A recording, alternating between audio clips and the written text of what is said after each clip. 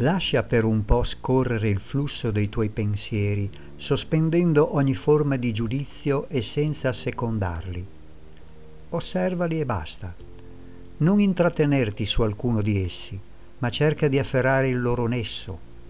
Non serve fare alcuno sforzo, anzi non devi sforzarti. Tu non sei loro e loro non sono te.